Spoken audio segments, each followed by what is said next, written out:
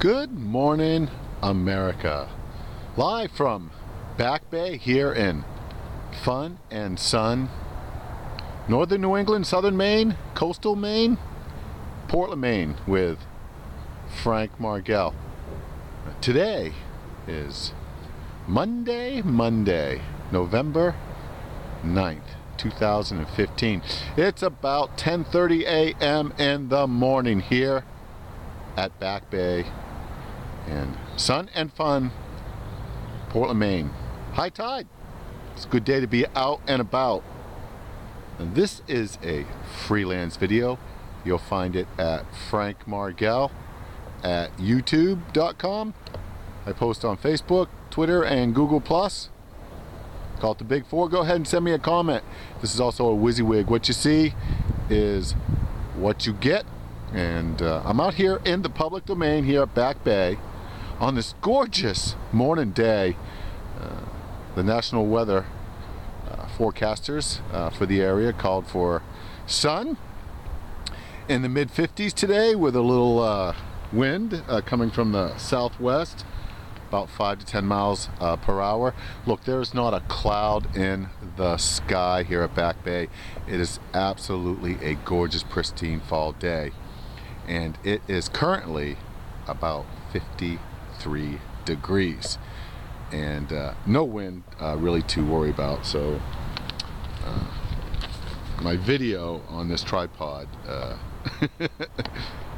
may not be as noisy as some and uh, I'm practicing more with a tripod.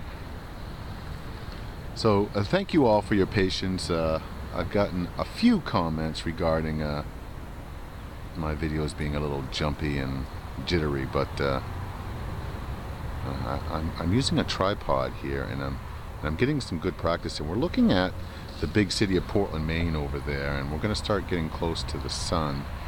Uh, and you can see 295, the traffic going north and south. And then, of course, you have the big bank building over there, the time and temperature building. So we're here in Back Bay, and uh, it is a gorgeous Maine day to be out and about.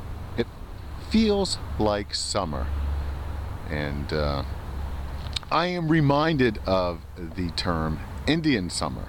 So that's what it feels like to me.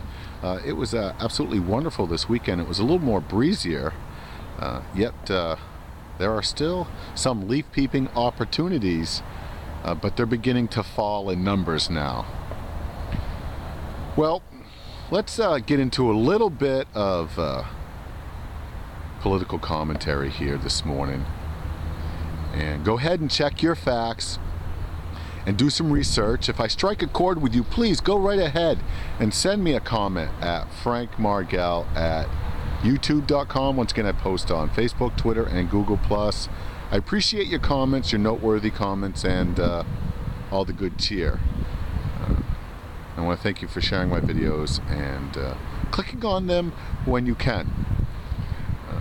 Uh, the topic uh, of discussion this morning here at Back Bay in the big city of Portland, Maine, uh, I'm once again revisiting mandatory minimum wage coming to Portland, Maine, January 1st, 2016. That's right. The city of Portland has mandated uh, by way of law and ordinance uh, that all businesses will be required uh, with some except, exemptions, so check your facts. Uh, but uh, most of the uh, employees are going to be receiving $10.10 an hour. And I've been posting up a lot of videos uh, regarding uh, that issue in particular. And I wanted to once again revisit some aspects of this new law. And if you want to find some information about the, the information that I am going to be sharing with you, uh, you can find it at uh, proposed amendments to order 2 97-14 slash 15 under the Portland City Council minutes. And uh, you can find a search box there uh, and just go ahead and type in minimum wage and you're going to pull up some articles And uh, what I've done is uh, pulled up page two uh, to the uh, proposed amendments to order 297 14 slash 15. You can Google this. Uh, or you can just take my word on it. But always check your facts, uh, especially if you're doing some research in this area. Oh, what's so fascinating about uh, mandatory minimum wage? Um, well, uh, in, in my previous discussions, um, I have uh, mentioned uh, on several occasions that um, Portland is mandating a wage of 10.10 an hour here in Maine's largest city Yet the state has not mandated or changed the law. So we have two different uh, uh, forces in play here. Portland will be uh, operating at uh, 10, 10 an hour mandatory minimum wage, but the state is much lower. So Portland went ahead and uh, passed this uh, law, these proposed, this proposed legislation into law and uh, come January, uh, we're looking at an unprecedented uh, event taking place right here in Portland, Maine.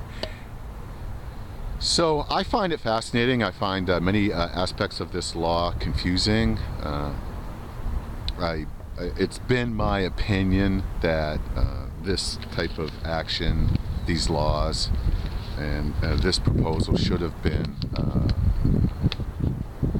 defeated, uh, or I think it should be reformed.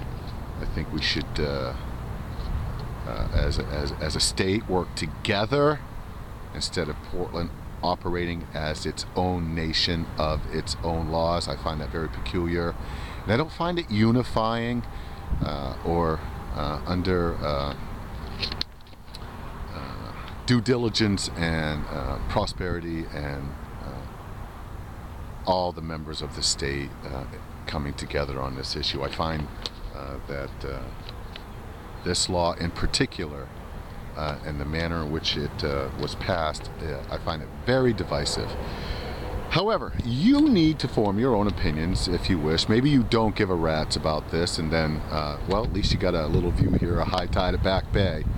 Uh, but uh, if you have any concern for this, as I do, uh, I would like to see something like this repealed.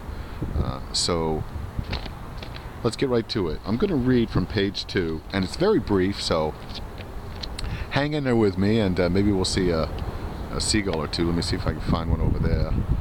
Uh, this shouldn't take but uh, 35 to 40 seconds to read, and then uh, I'll comment on it. Once again, check your facts. I'm reading from proposed amendments to order 297-14-15. On the top of page 2, the paragraph reads, Whereas, after years of inaction by the United States Congress, it is time for municipal municipalities, municipalities, uh, pardon me, I'm going to get to this word, municipalities and states to lift families out of poverty and stimulate the economy by raising the minimum wage. And, and then it goes on, and there's several more paragraphs on page two. I will not get into all of those other paragraphs because I want to focus on uh, this first paragraph and uh, perhaps uh, at another time uh, I can get into some more detail uh, regarding some of the other paragraphs. Once again though, I will make a humble attempt to reread this so as to not confuse. The first paragraph is the focus of uh, our discussion.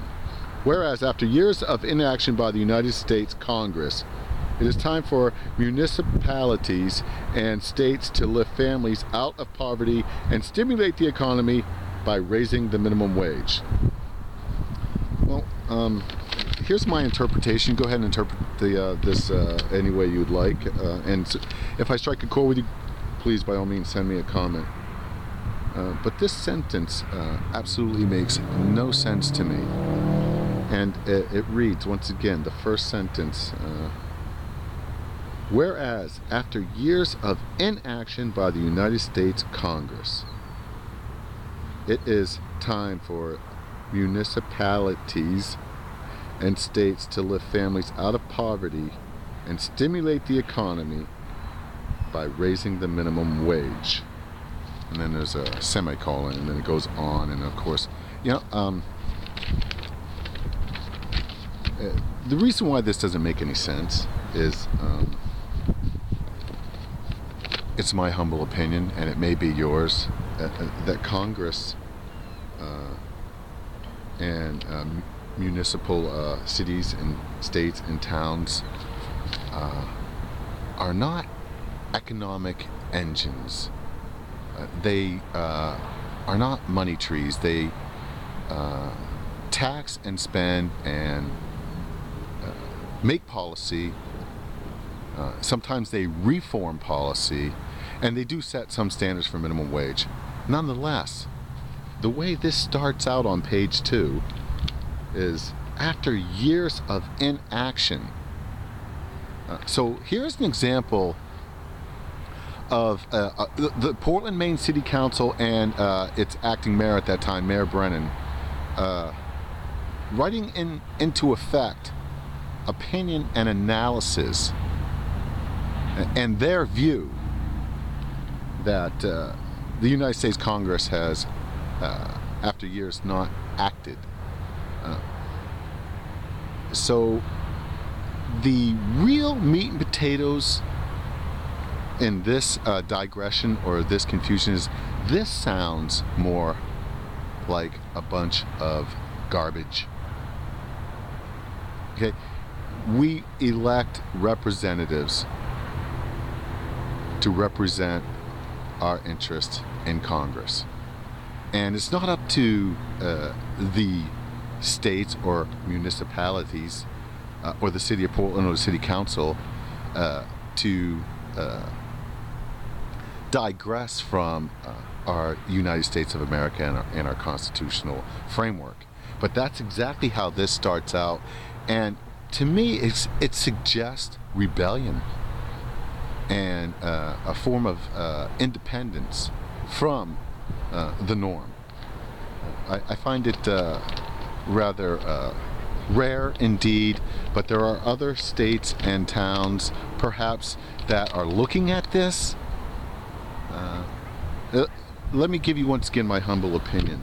Uh, this should be repealed. This, this, this type of lawmaking should be, uh, there should be checks and balances, and that uh, a city such as Portland that acts independently of its own state and the United States of America is is acting in a manner that's unwarranted and as a nation unto itself. So that's my opinion.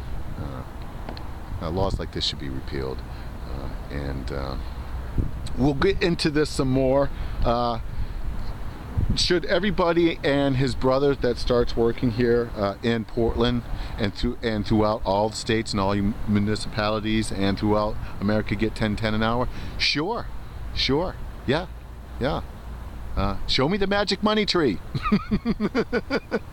uh, perhaps eventually, uh, in the end, as I have stated uh, many times in the past, perhaps all career politicians should get 10 10 an hour and leave the real economy and the free market uh, to those who actually resource and make a difference, make a buck, build this country.